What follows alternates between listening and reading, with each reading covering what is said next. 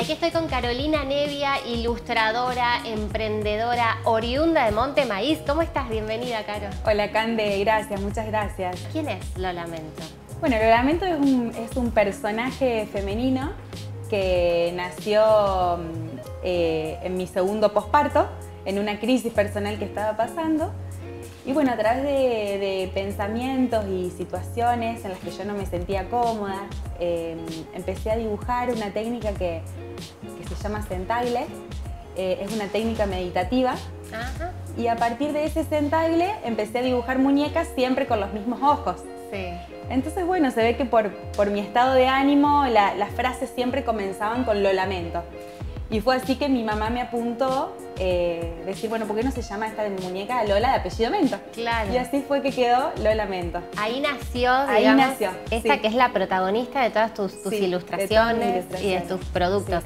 Me imagino que después eh, se fue transformando, le empezaste a poner características a Lola. ¿Cómo fue todo ese proceso? Sí, en realidad desde la primer Lola Mento a la que hoy dibujo hay muchísimas diferencias y, y no se parecen mucho. Sí, lo que sigue manteniéndose vivo es el ojo en donde el ojo manifiesta la fuerza de la mujer, el amor que las mujeres le ponen a todas las cosas que hacen en su día a día. Tiene muchos eh, idas y vueltas ese ojo porque es lo que pasamos las mujeres, que hoy en día tenemos que abocarnos a la casa, al trabajo, a también disfrutar de lo que nos gusta. Entonces en ese ojo están volcadas todas las características que para mí reúnen las mujeres. Y bueno, y después a través de su cabellera fui poniéndole condimentos, siempre volcando desde lo que yo veía y en problemáticas que he escuchado de otras mujeres, ahí surgía la cabellera de lo lamento. Y así fue como fue creciendo. Como fue creciendo. Y surge mucho como una necesidad tuya de expresión y de, también compartir ciertas posturas, ¿no? Con, el, con, el, con la comunidad femenina, cosas que vos decís, te leía en tu web, eh, todas pasamos por las mismas cosas, todas tenemos las mismas inseguridades o nos hartamos de las mismas cosas, ¿no? Exactamente. Pero yo creo que a través de la ilustración, viendo una imagen, podés leerla e interpretarla de acuerdo a lo que vos te está pasando, sin necesidad de leer el texto que yo pongo. Pero en realidad eh, a veces siempre habla de alegría, pero también de, cosas tristes y, a todas nos pasa. Eh, son problemas en común. Eh, ¿cómo, ¿Cómo fuiste construyendo esa comunidad? Y bueno, arranqué en el año 2015 haciendo mis, primer, mis primeros videitos con mi hermana en, el departamento de ella y empecé a colgarlos al, Facebook. Sí. Eh, nunca quise poner mi nombre, siempre fue atrás de lo lamento porque no quería que sepan que era yo. Bueno, después se hizo, se conoció. Hoy en día somos más de 103.000 en Facebook. Entonces fui publicando de a poquito y ahora es como que se transformó en un mostrar de, mi vida diaria. Claro, tal cual. También, aparte de las ilustraciones. Tal cual. ¿Cuándo fue que te pensaste así como, como hoy? Bueno, yo también quiero empezar a hacer esto que a mí me mueve, que me apasiona. Eh, en realidad creo que nunca me lo planteé así como me lo decís vos. Eh, desde chiquita, cuatro años, tres años, siempre dibujando, siempre con un lápiz en la mano. Eh, cuando terminé mi secundario me vine a estudiar a Rosario Ciencias Económicas y a los ocho meses me pegué la vuelta porque no, iba. toda la vida casi me llevo matemática, contabilidad, no, no iba, no iba. Bueno, así que ahí arranqué a trabajar en, la empresa familiar y, y, bueno, lo dejé al arte por completo, nunca más hice nada hasta que te digo que pasé por, por esta crisis y ahí arranqué eh, y dije, no, la verdad es que quiero compartirlo, quiero que se conozca porque me gusta. Bueno, también hay momentos que nos marcan, que nos quiebran. Sí. Y, donde a veces volvemos atrás a encontrar qué es eso que nos hace bien o dónde nos sentimos bien y por ahí, ahí fue que, lo, que te reencontraste con esto que en tu infancia hacías tanto. Sí, y yo ahora haciendo una vista de, de ahora para atrás, me doy cuenta que siempre fue mi refugio y, y bueno, por eso a lo mejor gusta tanto, porque uno lo comparte muy genuinamente. Bueno, y hoy no es solo un refugio. ¿Cómo, lo describirías hoy? Hoy es una parte fundamental. Hoy no sabes cómo cumplir con los pedidos, cara. sí, hoy, no llego. Claro. Eh, para mí hoy no, lo lamento es, es, mi mundo, gira alrededor de lo lamento. Con decirte que a lo mejor estoy en, afuera de la escuela buscando a mi hija y escucho a las mamás del lado hablando de algo y digo, ay, pero qué buen dibujo claro, me inspiro en lo que hablan ellas y, sale un dibujo o sale un mate. ¿Cuáles son los productos que haces? ¿Dónde, dónde se plasman tus ilustraciones? Bueno, hoy, eh, hoy en día, actualmente, eh, en mates, en ¿Qué es lo que más salen? Lo que más salen son los mates. Son hermosos. Bueno, muchas gracias. Divinas.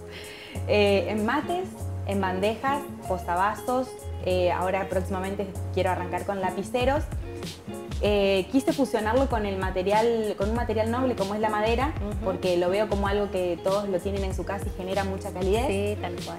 Y a su vez, aparte de ser un objeto que vos lo podés usar tranquilamente como vajilla en tu casa, eh, viene con su certificado de autenticidad que lo puedes coleccionar como obra de arte. Claro.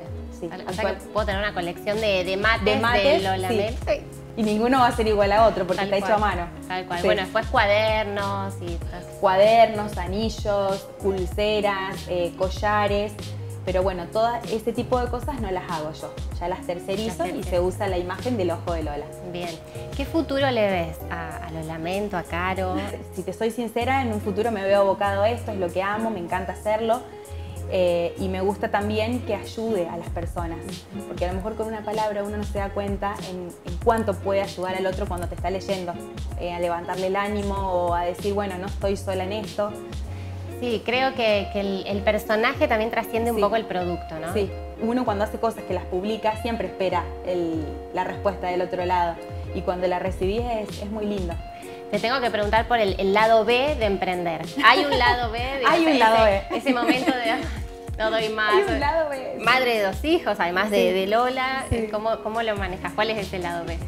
Y el lado B es que por ahí mm, mi cabeza va más rápido de lo que puedo hacer con mis manos. Hay que saber administrar los tiempos y no volverse loca, pero emprender es eso, es trabajar duro, es levantarse temprano, es ser perseverante, pegarte portazos contra la pared y volver a arrancar. Eh, pero es lindo. yo lo elijo. A mí me encanta emprender. ¿Lo haces sola? ¿Tenés un equipo? Sola, lo hago sola. Todo, todo yo lo hago.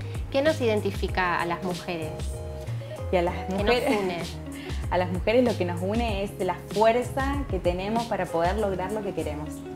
¿Te diste, Caro, el, gusto de ser feliz? Sí, sí. Gracias a Dios. Soy muy feliz. Te, diste el permiso, te diste el gusto. Porque por ahí uno eh, no se da cuenta, es chico, le falta madurar. Eh, hace unos años atrás y, pasé por todas estas crisis que te contaba. Y, no me daba cuenta que tenía un montón de cosas para ser feliz. Y con Lola fui también como madurando, encontrándole la vuelta a mis problemas.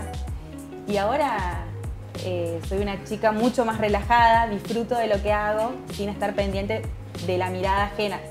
O sea, no, no te hablo de las redes sociales, de lo que los demás piensen por lo que uno hace por ahí en los pueblos chicos es complicado el tema de la exposición. Claro. Sí. una red, debe ser la, de más seguidores en Montemaíz.